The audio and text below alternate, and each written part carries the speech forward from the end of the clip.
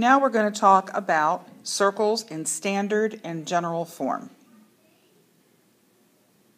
Start with the definition of a circle. A circle is the set of points in a plane that are equidistant from a fixed point called the center.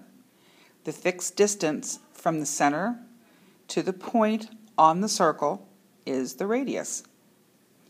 So get that written down and into your brain, but let's pick it apart a little bit too, because one thing that I, that we mentioned is it is, it is a set of points. A circle is a set of points, or locus of points is another way to say it.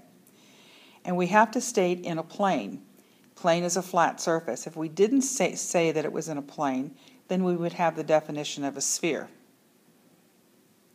And the radius is that length from the center to the set of points.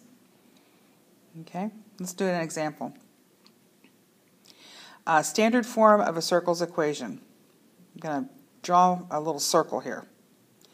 And the center of the circle is going to be at HK. Those are the two letters that we generally lose, use for, for centers of things. And the radius connects the center to a point on the circle, which is going to be just xy. And so the uh, equation in standard form is going to be the quantity x minus h squared plus the quantity y minus k squared equals r squared. So if I want to write the equation of a, uh, a circle whose center is at 0, 0 and whose radius is 2, it's x minus 0 squared plus y minus 0 squared equals 2 squared. I'm just plugging in, plug and chug. So this means it's going to be x squared plus y squared equals 4. Okay, go do your checkpoint number 3 and then come back. Okay, example number 4. The standard form, write, write the standard form of a circle whose center is at negative 2, 3 and whose radius is 4. So let's remind ourselves of what the uh, formula is.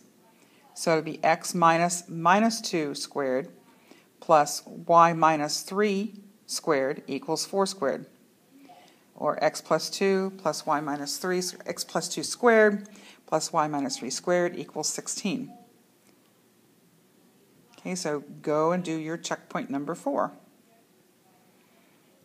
Here's another example. We want to use the standard form uh, to graph this circle.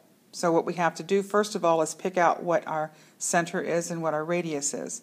The center will be at 2, negative 4, and the radius will be at the square root of 9, which is 3, because remember that 9 is represents r squared. So if I want to first find my center, which is at 2 minus 4, then I'm going to go ahead and draw my little auxiliary lines to keep my eyes moving in the right direction and I'm going to plot my points two or three up, three down, three left, three right, and draw my circle. Okay, now I also want to be able to identify the domain and range. When I'm looking at a graph that's been graphed accurately, it's pretty easy just to count back and forth to get um, what the domain and range is. But you can also do it by taking, let's say for the domain, we know that the uh, let me get a different color here. We know that the um, center, the, the x coordinate is 2. So if we start off with 2 and we take away the radius, and then we, on the other side, we add the radius. So start with the coordinate and take away the radius on the, the left side and add the radius on the right side. So that's going to give us the, the uh, domain is from negative 1 to 5, and you can see that by looking at your graph here. The range, now we're going to take, instead of the x coordinate, we're going to take the y coordinate of the center, which is uh, negative 4, and we're going to subtract 3 and then add 3. So we'll have negative 7 and negative 1. And you can see that once again it's from negative 1 to negative 7. So you can do it visually and you can do it algebraically. I expect you to be able to do both. Okay, so do your checkpoint number five. And here we are back. The general form, x squared plus y squared plus dx plus ey plus f equals 0, where d, e, and f are real numbers. Now, this kind of equation is going to pop up again for an ellipse and for a parabola and for a hyperbola for all the conic sections. So let's convert from the general to the standard.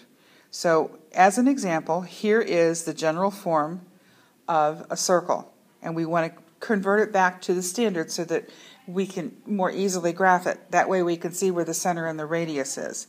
So what we're going to do is we're going to put the x terms together, and we have an x squared and a 4x. I put them together and then leave a little bit of room to complete the square.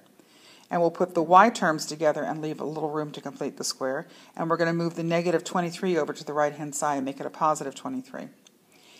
Now, uh, taking 4 divided by 2 and squaring it will give us our, our constant term for here, and that's 4. So I also have to add it to this side to balance my equation.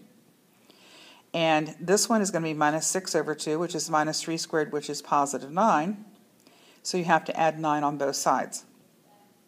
So now what does this mean? Well, this first perfect square is x plus 2, the quantity squared, and y minus 3, the quantity squared, equals 36. So minus 2, 3 is my center, and my radius is 6. Okay, let's um, graph this. So I, I have minus 2, 3 is my center. I'm going to draw my little auxiliary lines, and then I'm going to count 6 to the right, 6 to the left, 6 up, 6 down, and then draw this really wrecked looking circle. Sorry about that. and that's the graph of it. Okay, so go ahead and do your checkpoint number 6, and that's it. See you in class.